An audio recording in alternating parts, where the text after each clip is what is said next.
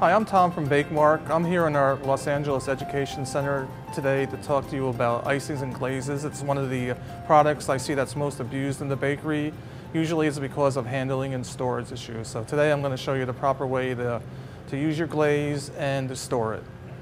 Here I have uh, some donut glaze made with our Super Speedy. The Super Speedy works well for icing because it's a 12x sugar, so it's really, it isn't gritty and it really gives you a nice shine when it's done.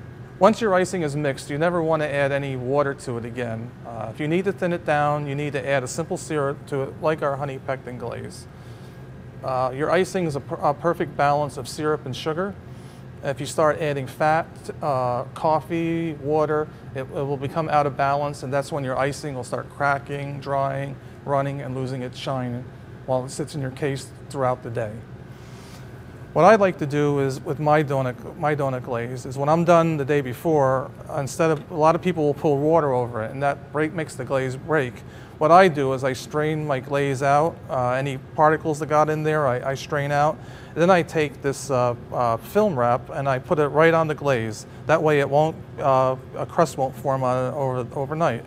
Then when I need it the next morning, all I need to do is pull this film off like this. And then I just squeeze any glaze right back into it. And now my glaze is ready for use. Any product I'm going to uh, glaze with a thin glaze like this, I want to make sure the product is hot. It shouldn't be cold. That way the glaze will run off and be thin. Um, if you're going to ice a donut, you want the donut to drain 30 seconds for, to a minute so the uh, fat drains back into your fryer, not into your, into your uh, icing. So then you would glaze your, uh, your item, whether it be a scone, a muffin, or whatever. You want it to be hot. When I'm done with the glaze, like I said before, I skim off any uh, matter that got in there. I take uh, the film wrap and I cover it up and it's ready for the next day. Here we have a flat icing. This is our chocolate dipping icing. And this icing needs to, is just the opposite of the glaze. You take a cold product and you apply it. The best temperature for the icing is 110 to 120 degrees. When you get much hotter than 120 degrees, the icing will break down and it'll run off your product and it'll lose its shine.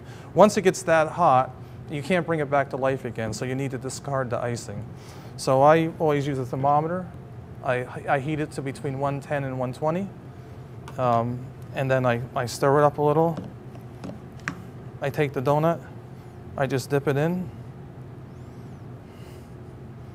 And there you have a donut that has a nice shine to it and the glaze doesn't run off it.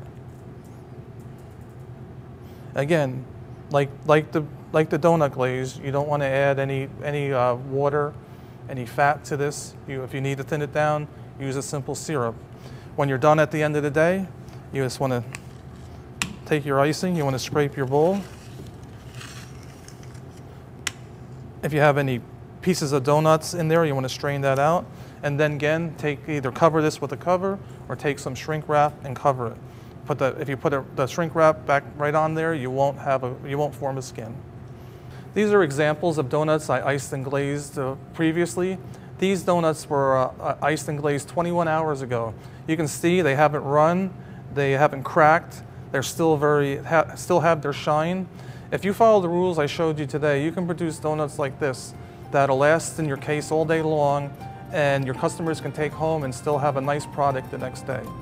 For more information on products and recipes, visit us at yourbakemark.com.